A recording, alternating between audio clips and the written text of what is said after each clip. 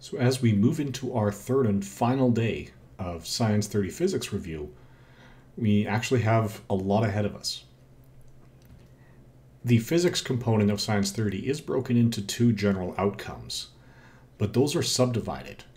Now there are, for the first outcome, 12 knowledge outcomes, two science technology society, and four skill outcomes. Similarly, for the second, we've got 11 knowledge, 3 science technology society, and 4 skill outcomes.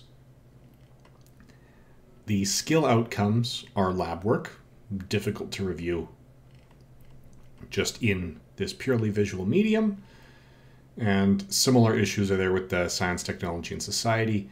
So we are just going to focus on those 23 knowledge outcomes. And we will move through those hopefully in just a couple of minutes each. So in our first outcome, remembering that a field is a property of space around a mass, an electric charge, or a magnet that causes another mass, electric charge, or magnet introduced to this region to experience a force. Now we talk about a specific region. All three of these forces have infinite range.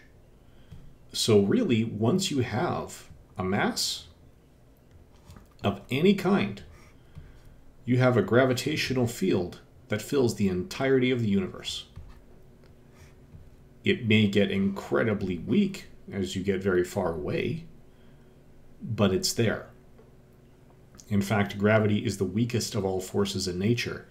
That's why we don't notice it until it's coming from something the size of a planet we rarely feel the gravitational attraction between ourselves and, say, the pencils that we're using.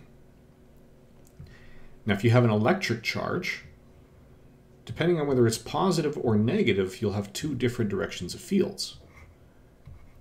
Remember, the, the field lines for an electric charge are in the direction of a small positive test charge. So if you have a positive charge, it's going to be repelled from another positive charge and attracted to a negative charge. Now, the way that's drawn, it looks like we can have intersecting lines. But we can't.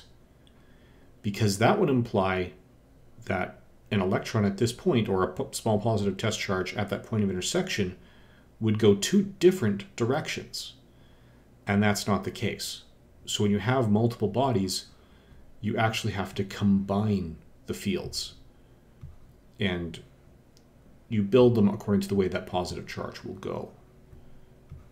So it'll be repelled from the positive and attracted to the negative. Now, if you're straight in the line, it'll go out.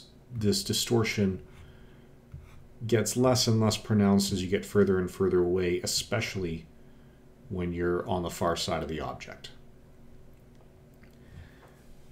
But we do get these field lines curling in on another when we have a positive and a negative charge together. We'll have the same sort of an effect with a magnet. So remember, magnets always have two, two poles on them. There's always a north and a south. So even though we draw the field lines according to where a north monopole, as they call it, just one pole would be, if you had a little thing that was just north, how would that go? Well, that doesn't exist in nature, but we pretend it does for the purposes of mapping out a field. And while an electric field, well, electric emming and a fields extend to infinity, but with magnetic fields, you get bigger and bigger closed loops as you get further and further away. Whereas with the electric field, a single charge can produce a field to infinity. A bar magnet or any magnet will always have a field that wraps around and closes in on itself. It's actually similar to what we had with the positive and negative electric charges there. It's just a little more rounded. So these are the basic review concepts for that magnetic charge. and the magnetic field.